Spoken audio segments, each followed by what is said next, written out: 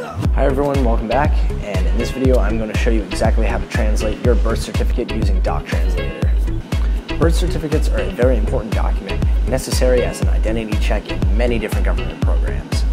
One example would be getting a learner's permit from the DMV, where a birth certificate is one of the many documents that are required in order to register for a license. If you're overseas, you may need to translate the certificate to help speed up the process of identity checks in foreign government course, this means that courts will most likely not accept documents that aren't certified or authenticated by a professional. If this is the case, you'll need to get a certified translation from a certified translation agency, like Translation Services USA. Now without further ado, here's exactly how you translate your birth certificate using Doc Translator. In this video, the tool we are going to use is called Doc Translator. All the transcripts translations are USCIS compliant. First, go to doctranslator.com. That's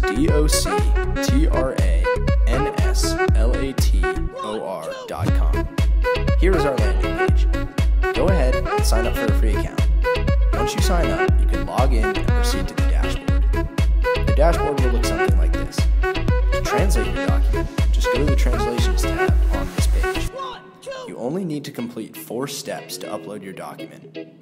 Step number one is to choose a file and upload it.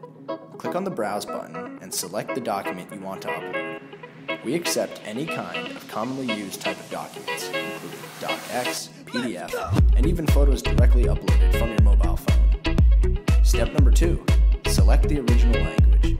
In our case, it's a Spanish academic transcript. Step number three, select the target language. In this case, I will choose English. Step four, upload. It's going to take a couple of seconds to upload your file to Doc Translator.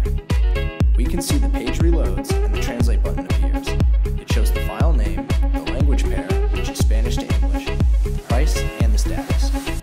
In our case, the price is $9.99. That's the minimum fee that Doc Translator processes such documents. If you don't have a balance on your account yet, you can click the payment section and add amounts. I have enough balance in my account now, so I'm ready to proceed. I click on Translate and the translation begins right away. On the following screen, the translation is now complete, and to download it, all I have to do is click on the download button. As you can see, it's fast, accurate, and affordable to use Doc Translator to translate your PDF. With translations only a 20th of a cent per word and free translations for documents under 1,000 words, it's easy to convert your documents to make them readable for everyone. If you found this video helpful, please hit that like button, subscribe, and turn on notifications if you want to see more. Thanks again for watching.